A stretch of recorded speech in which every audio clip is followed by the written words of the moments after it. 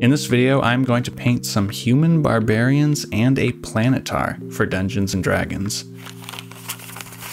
Good day or night to you, welcome to the Gaming Tome. If you don't already know, Nolzur's Marvelous Miniatures, or as I like to call it, NM, is a line of unpainted, pre-primed Dungeons & Dragons models from WizKids. The Nolzur's line features both monsters and player character minis, Today I am painting one of the male human barbarian packs. There are other human barbarians in the Nolzur's line, but I am painting the one that looks like Conan. Usually these player character packs contain two miniatures depicting the same character with variation in stance, clothing, and weapons. This pack comes with three miniatures if you count the spirit that is supposed to attach to one of the barbarian's bases. I will also be painting the Planetar. It is an awesome large-sized angel. Let's start with the barbarians. This barbarian is wearing no armor and very little clothing. With this much exposed skin, it makes sense to start painting the model with the skin color. I chose this warm skin tone. Arnold Schwarzenegger's Conan the Barbarian has this very sun-tanned, warm skin, and I want to replicate that on these miniatures.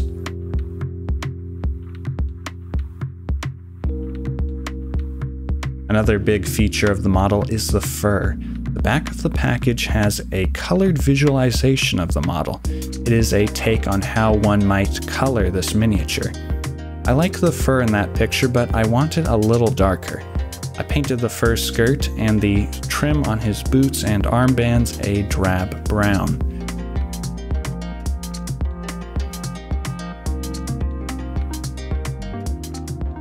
Those fantasy Viking helmets make me want to paint their long braided hair bright blonde. I settled on a sort of light yellow bone or eggshell color. You can see that as I am painting, I am working from the features with large surface area toward the smaller details. I have found this to be a solid strategy for painting miniatures. Now it is time for a dark brown paint. I want to color these belts like dark leather. The armbands, helmet, handle of the battle axe, and the boots will all get a coat of this brown. The colors so far have been on the lighter end, so this will add some much needed contrast.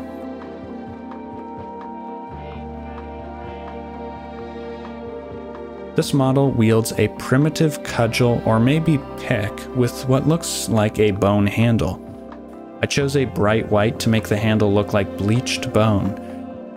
The horns on the helmets are getting a coat of light brown the battle axe on one of these guys has a looped strap on the end and a ribbed surface for extra handling. I painted these light brown as well. Coming back to the cudgel on the other model, I painted the head of the weapon light gray like stone and the straps fastening it to the handle light brown. Barbarians are not known to be the brightest characters, but they understand there is value in shiny things. These models have some metallic features.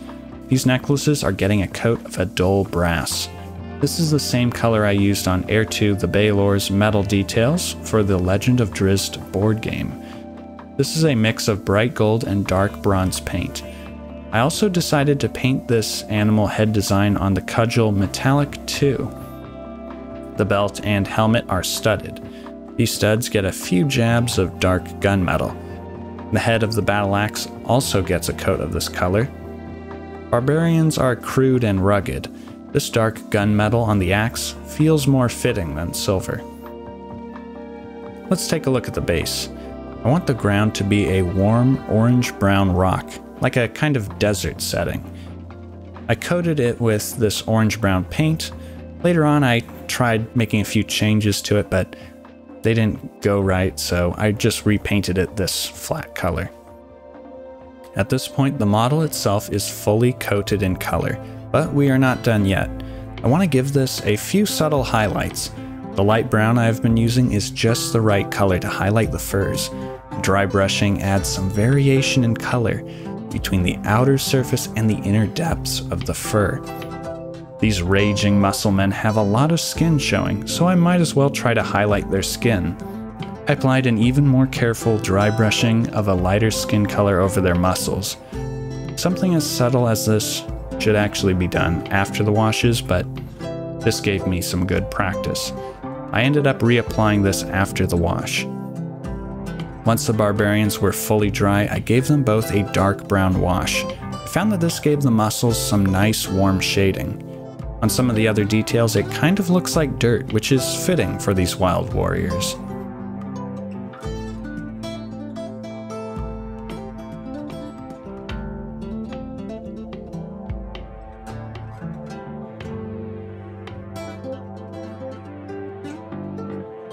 The barbarians are done, but we cannot forget about the spirit. It is transparent plastic, so I can try to tint it a certain color. I ended up going for a crimson tint to symbolize rage. A healthy dose of watered down paint like I'm using will work in a pinch, but there are paints and inks which should stain transparent plastic with better results. Could paint this other colors for different symbolic flavors. I'm thinking green for nature, light blue for something more spectral and cold, or yellow for a holy, radiant guardian. This is one supernatural guardian down. Now we are off to the planetar.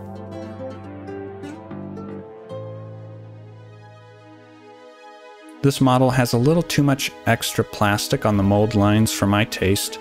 I usually do not concern myself with these, but I am trying to be a better miniature painter, and these slender fins are too noticeable. A few careful slices with an X-Acto knife will clean up these surfaces.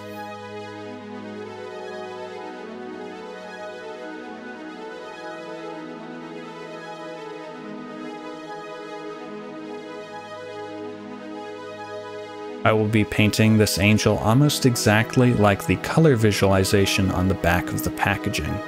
I'm starting with the wings and cloth skirt. It will be a clean, angelic white. I like the feather texturing on the wings and these two flailing bits of cloth from the skirt.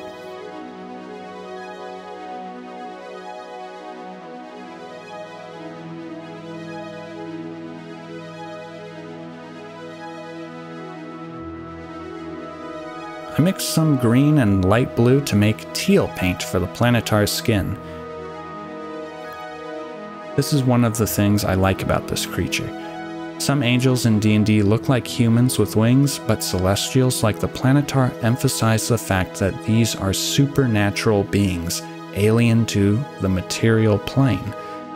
That teal skin and those bright, solid white eyes make them feel inhuman and otherworldly.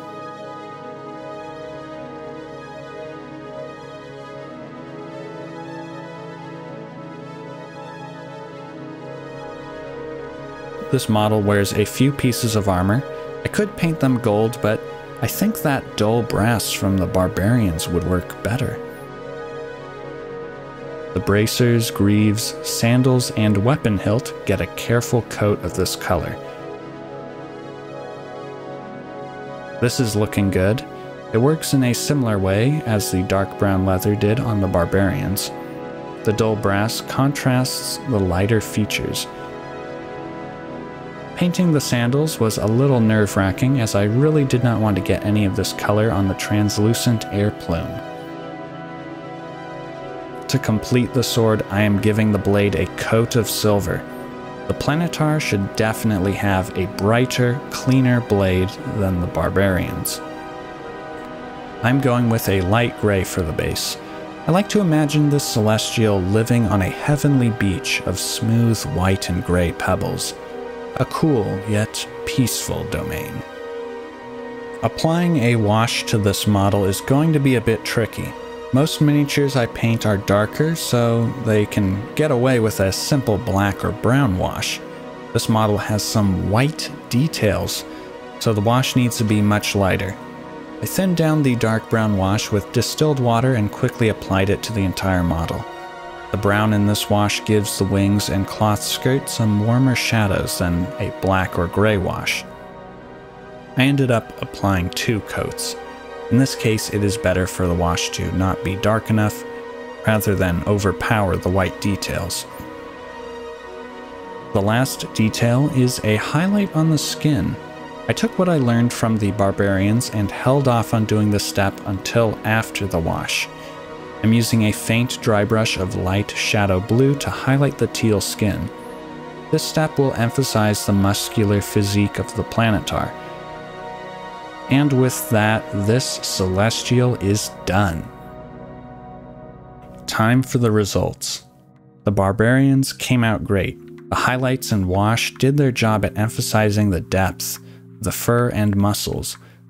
I also like how the bright details on the cudgel and hair stand out from the rest of the miniature. These two are great minis for someone who wants to run a Conan the Barbarian style character. That orange brown base I painted looks like rusty Martian dirt. They would easily find play in an apocalyptic desert setting like Dark Sun. Usually, the player character packs in Nolzur's line have more variation between the two minis, but I can see why these two are so close in appearance. Barbarians don't wear much armor, so there's no variation there, and this clothing is pretty iconic. The change in weapons is good though. They look so similar that, as a dungeon master, I want to deploy them as a pair of twin warriors for an encounter.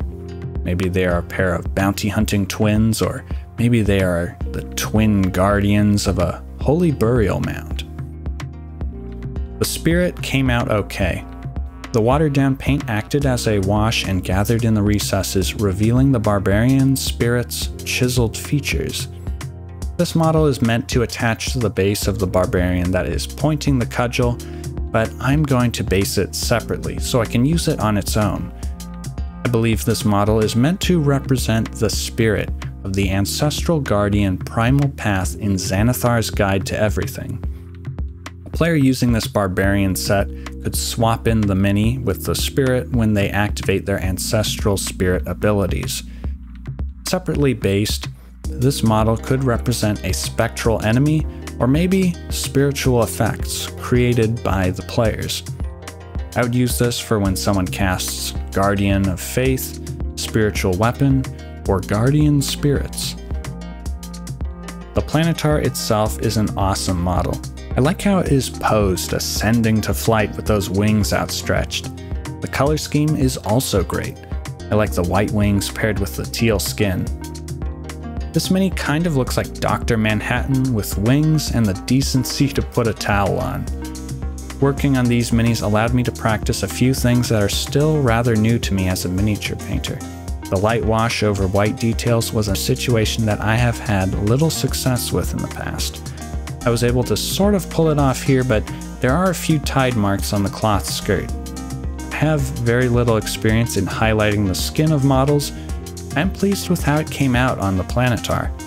In fact, I decided to paint these minis together because both the Barbarians and the Planetar are muscular with plenty of exposed skin. They kind of go together. The Barbarians look like warriors of Valhalla, and the Planetar looks like their angelic captain. If you enjoyed the video, leave a like. If you did not, then tell me why. I'm always looking for ways to improve. If you want to see more content, then shout to the heavens until your ancestral spirits awaken, and then gracefully press the subscribe button. Before the planetar comes down from the clouds to see who's making all that noise. Anyway, I need to go varnish these miniatures. Thank you for watching, and until next time, keep making and keep playing. Have a good one.